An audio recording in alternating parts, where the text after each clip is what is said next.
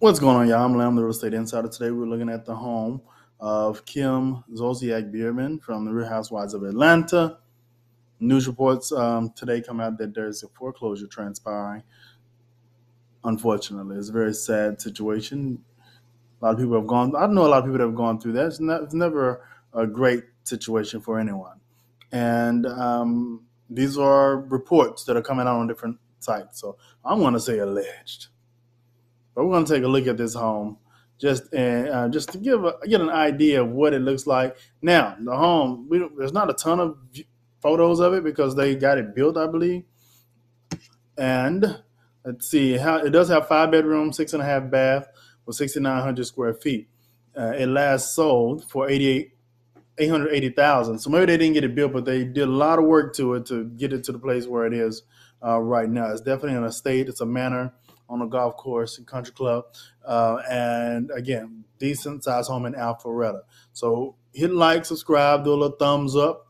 And we're going to take a look at it in just a second. But just a little bit more about this whole foreclosure situation. Let's talk about it. The reports are saying that uh, that Kim Zolciak is looking to lose her $2.6 million mansion to foreclosure after she failed to pay back uh, 300K, a $300,000 loan following the cancellation of her recent show. Mm, so she had Don't Be Tardy for the, Don't Be Tardy, I believe is what it's called.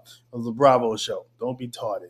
Legal documents obtained by the U.S. by the Sun show that the star and her ex NFL star Kroy Biermann failed to pay back a 300K loan. This must be a second lien or something. They, but they're trying to get something added to the house. What, what this was, I, I, don't know. I used to be a loan officer, but it, I don't remember none of the stuff that I used to talk about when I was a loan officer. I was 21, and I'm 40. Wow, 39 now. 39. Um, it says a notice of sale under power confirmed that Kim, who's 44, and her husband, who's 37, had their five bedroom, six and a half bath home foreclosed on, and is being put up for sale at auction. So if you want, if you got the cash money, you can go get it. By the way, and when you want to get it, Fulton County, go go grab it. Go grab it. Kim and Kroy's home was foreclosed upon because of, among other possible events of default, failure to pay the indebtedness. So um, let's go and take a look at the few pictures. Not a lot. Don't be. Don't expect a lot. Not a whole lot. A few pictures that she's shown.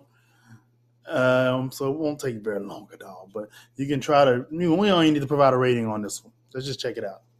Enjoy.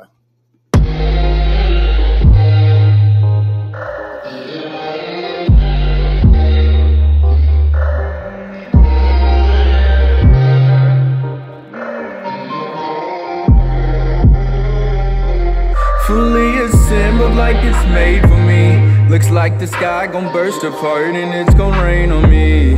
I wish I could take my heart and fill the vacancy. It's bound by chains and torn apart, we left a memory